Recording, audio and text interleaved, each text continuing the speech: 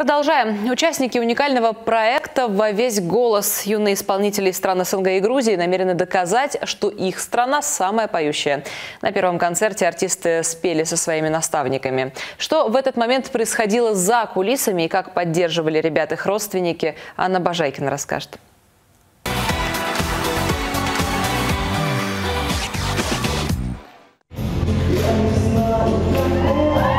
Первый номер в первом концерте.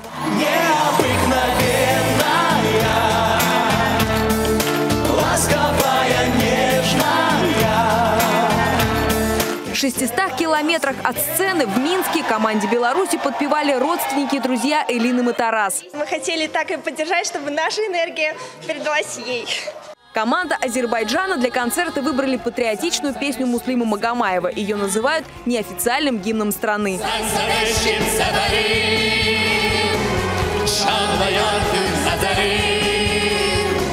Тем временем за кулисами к выходу на сцену готовилась команда Грузии. От родителей. И зажечь. Команда Грузии и зажгла, и растопила сердца зрителей песни своей наставницы Алисы Данелия.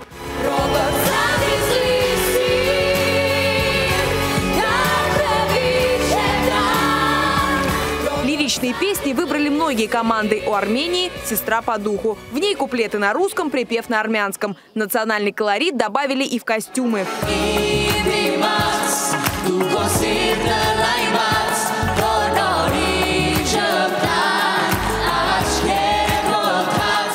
За всю команду Армении болели родственники Сатыник Саакян. В одном доме собрались не только родители, а еще и соседи.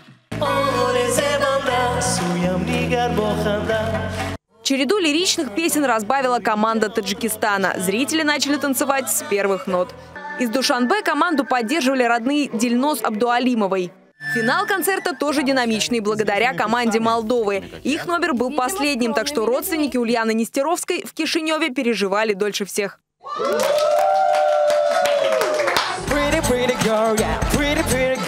Словно на батуте скачет сердце мое.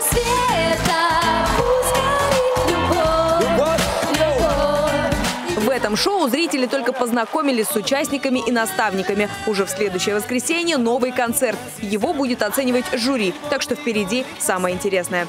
Анна Бажайкина, Нона Аганесян, Гюна Шисаева, Зарина Абдуназарова, Мир-24.